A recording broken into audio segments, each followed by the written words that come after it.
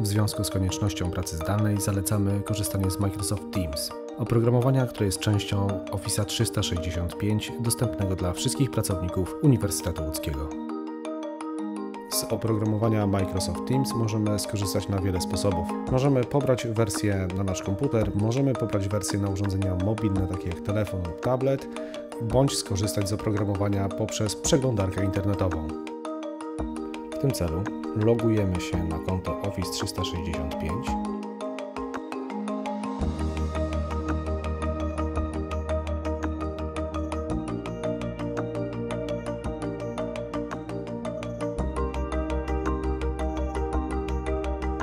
Pojawia nam się okno z dostępnymi aplikacjami w ramach pakietu Office 365. Niektóre aplikacje są ukryte.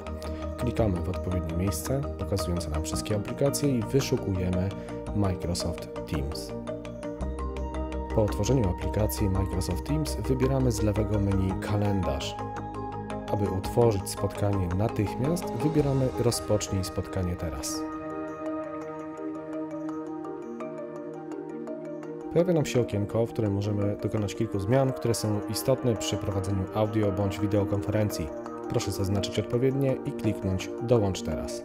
Aby zaprosić osoby, które mają uczestniczyć w spotkaniu, wpisujemy w pole Zaproś kogoś odpowiednią osobę.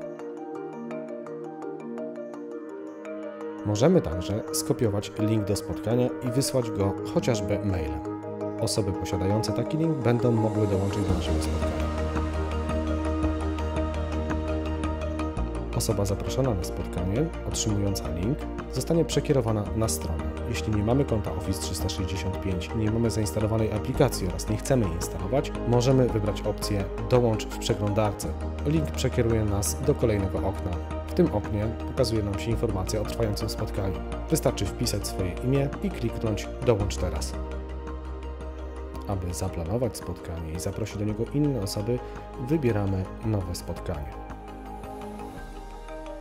Aby utworzyć spotkanie, należy wypełnić okienko z nazwą spotkania, wpisać adresy e-mail osób zapraszanych, datę spotkania i godziny, w których spotkanie będzie aktywne oraz pole informacji do osób, do których zostanie wysłany e-mail z zaproszeniem.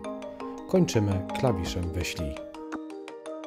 Utworzone spotkanie będzie widoczne w kalendarzu z możliwością dołączenia.